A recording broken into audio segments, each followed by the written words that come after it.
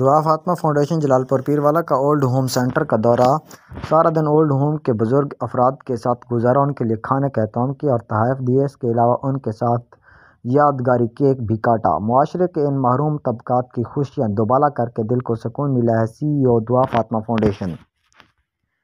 معاشرتی بھاگ دوڑ کے اس دور میں چھوٹی چھوٹی خوشیوں کو انمول بنانے کے لیے دعا فاطمہ فاؤنڈیشن جلال پور پیروالا کا وفد کا سی ای او سلمان منور بلوچ کے ہمراہ فلاحوں کاموں کی طرف ایک اور قدم بڑھایا اور ملتان کے عافیت اولڈ ایج ہوم کا وزٹ کیا۔ دعا فاطمہ فاؤنڈیشن کی جانب سے اولڈ ہوم میں رہائش پذیر تمام بزرگان کے لیے اور وہاں پر موجود باقی لوگوں کے لیے کھانے کا انتظام کیا۔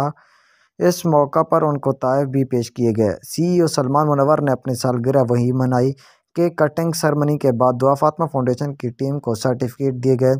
سی ای او ملتان منور کا کہنا تھا کہ انشاءاللہ مستقبل میں بھی ہم سی ایسی فلاحی کاموں پر بڑھ چڑھ کر حصہ لیں گے اور آج کی طرح دوبارہ ہم اسی طرح دوسرے اولڈ ایج ہومز میں وزٹ کرتے رہیں گے اور ان لوگوں کے لیے جتنا ہو سکے گا خدمت کریں گے کیونکہ معاشرے کے محروم طبقات کی خوشی میں شریک ہو کر دلی سکون ملتا ہے۔